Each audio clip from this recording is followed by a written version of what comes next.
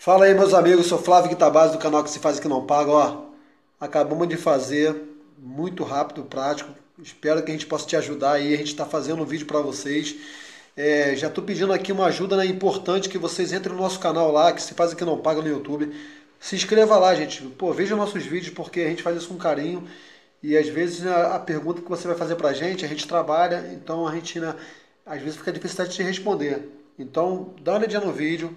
É, você, se tiver algum detalhe que a gente não falou, né, eu vou te responder com o maior carinho, mas olha o vídeo lá, a gente faz com o maior carinho, tá bom? Ó, um quadrinho muito fácil de fazer, gente, maravilhoso.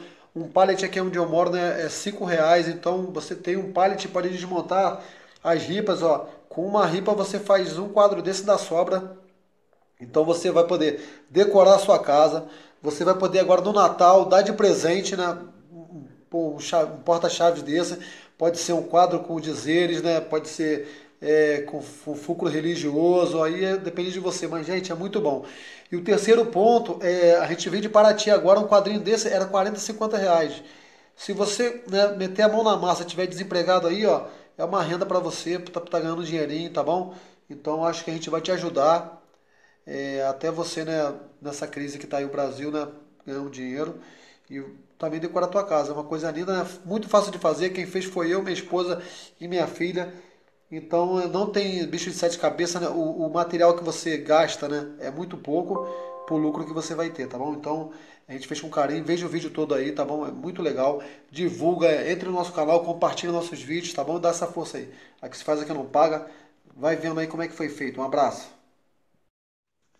Meus amigos, ó, lixa madeira com lixa 220 tá bom? Se ela tiver legal, pode deixar ela assim, mas é bom dar lixadinha, né? Depois você vai fazer a aplicação dessa cola de madeira, né? E depois eu usei cola instantânea para dar uma reforçada, tá bom? É, colocou do ladinho uma da outra, ó, deu uma apertadinha, muito prático, dá uma reforçadinha com a cola. Essa cola aí, ela só dá uma reforçadinha para secar a cola de madeira. Depois que secar, tudo ok. Mas como eu vou usar, né, vou fazer um porta-chaves, o que, que eu decidi?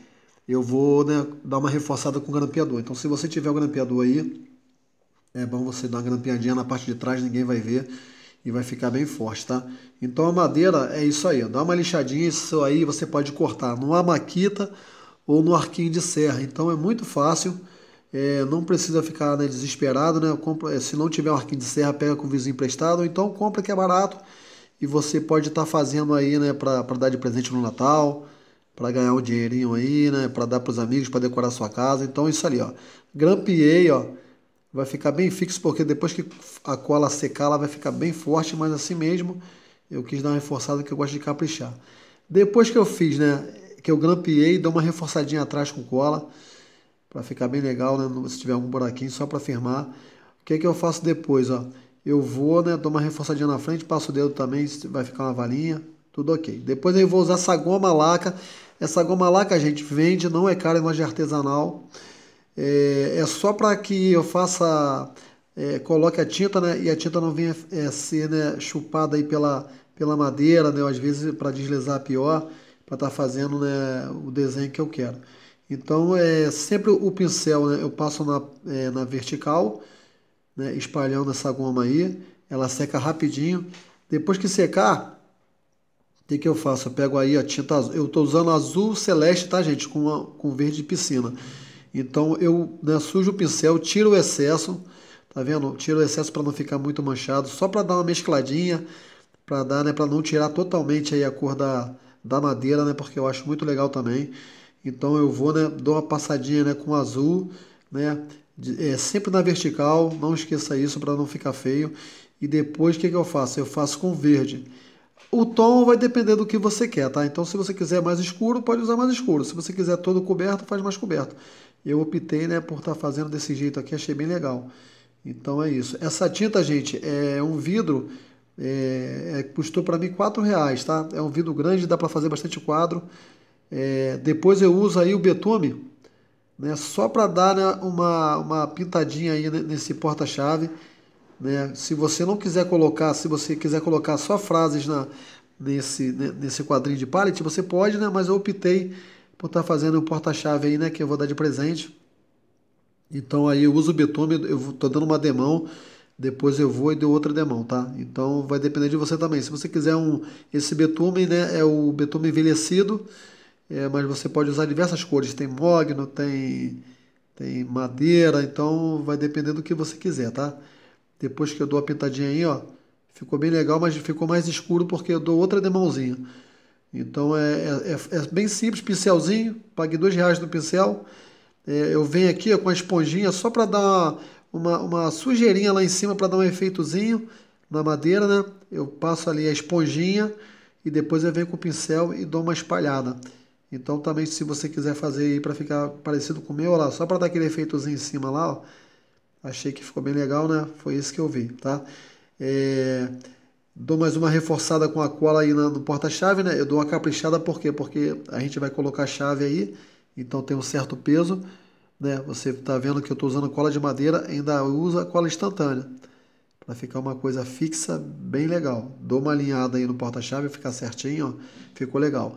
É esse desenho que minha filha está fazendo é o seguinte, explicar para vocês. Eu estou fazendo aí um galinho com dois passarinhos.